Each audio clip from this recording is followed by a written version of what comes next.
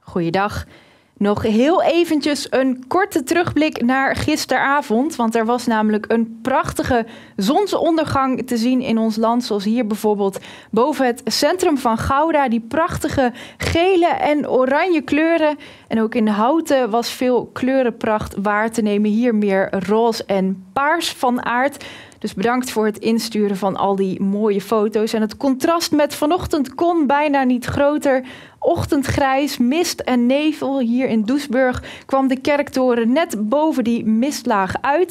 Het geeft al wel aan dat die niet al te dik was. En in de loop van de ochtend ook al begon op te lossen. Zien we op deze foto ook mooi hoe die flarde mist geleidelijk optrekken. En hoe er een blauwe lucht achter tevoorschijn komt. Op het satellietbeeld zien we die ontwikkeling ook mooi terug. Boven het oosten van het land in het begin van de ochtend nog wat bevolking. En hier zien we hoe die dunne mistvelden geleidelijk aan het oplossen zijn. En hoe daar dus ons land onder tevoorschijn komt.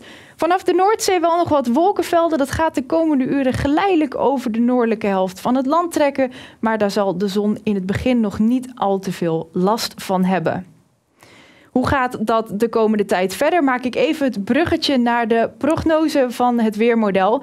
En dan zien we dat we de komende tijd te maken hebben met een uitloper van een hoge drukgebied. Maar hier vanuit het zuidwesten zien we ook een lage drukgebied dichterbij komen. En in de loop van woensdag komt die uitloper van dat hoge drukgebied steeds meer onder druk te staan. En krijgen we met een toename aan bewolking te maken. Dan eerst nog eventjes naar vanmiddag. Dan is er van bewolking niet al te veel sprake. In de noordelijke helft van het land dus af en toe die wolkenvelden die vanaf de Noordzee overdrijven. Verder een volop zonnig weerbeeld. Af en toe wat hoge sluierwolken. Misschien dat er hier en daar wat onschuldige kleine stapelwolken tot ontwikkeling komen. Een zwakke tot matige noordwestenwind en het is nog steeds behoorlijk zacht voor de tijd van het jaar. Aan zee een graad of 16 en in het zuiden en oosten van het land warmt het nog op naar 18 graden.